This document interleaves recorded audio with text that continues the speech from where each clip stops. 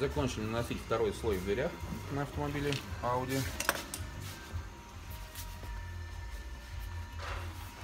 Также проклеили крышу вторым слоем.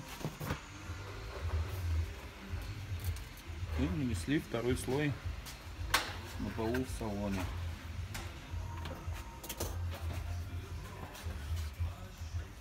Продолжаем работу.